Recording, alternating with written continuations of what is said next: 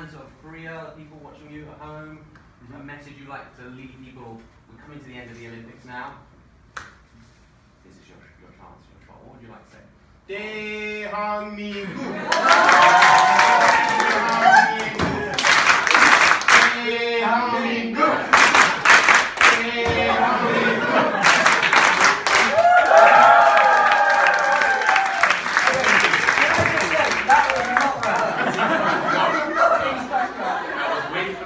opportunity.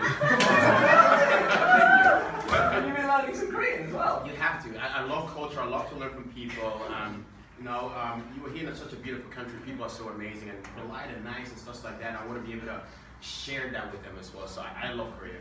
Fantastic. Well, Korea loves you. Um, Yeah, thank you. We love you and we love having you on here. We are so, so happy.